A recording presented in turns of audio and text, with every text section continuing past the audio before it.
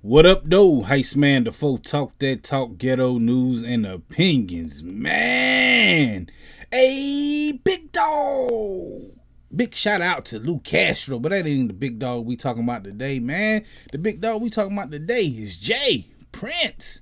You know when you go to the movies and they say silence is golden, and that's exactly what happened when J Prince met up with Kanye West. He straight son dude. He had him up under the wing, man. Come on.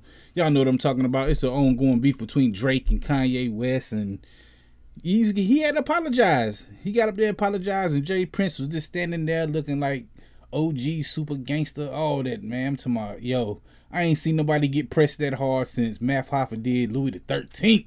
Come on, man. Kanye West, if you in trouble, blink. the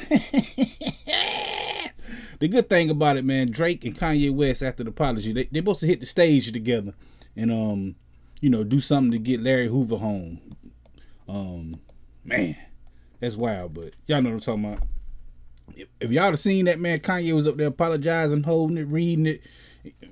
J Prince standing there. He ain't make no mean face. Like, man.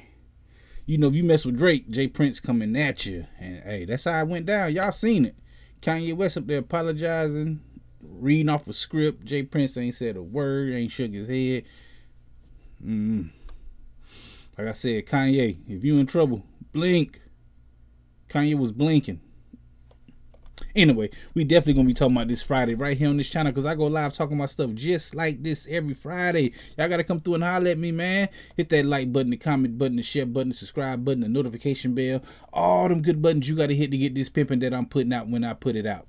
And like I said, I go live every Friday at 9 p.m. Come through and holler at your boy, Heist Man Da Foe. Talk that talk, ghetto news and opinions.